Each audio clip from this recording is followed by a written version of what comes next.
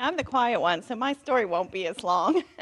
but um, I guess aging me the way Natalie did, my son was in preschool when I started with ProTax. But before that, I'll tell you, I was a math teacher. I have a master's degree in education. I taught junior high math for six years. Um, and I decided junior high kids were not the kind of people that I wanted to work with on a full time basis.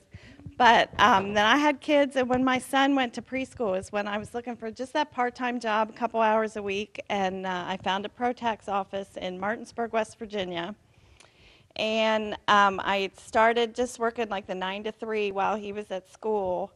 And um, by the end, I think it was before the end of peak, the manager had been fired, and um, a lot of people left. And after February, I got this speech at the end of peak that, you know, we'll call you if we need you.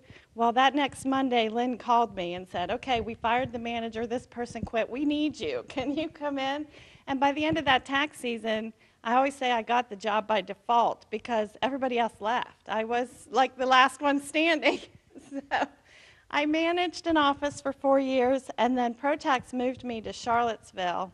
And I was director of support, one of those people that was in the team of what Natalie did before she left. And director of support for one year, and then they created a new position.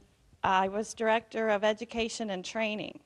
So I actually wrote all the training materials that ProTax used for their 24 offices around three states. And I really enjoyed that part of the job. And when Lynn started her own company and wanted somebody to do the training manuals and stuff, I said, yep, count me in. So I've been working with Lynn for, what, three years now? Yeah. And she's a great boss. She's um, not at all detailed, so, you know, she needs help in that area but uh, I try to fill that role for her.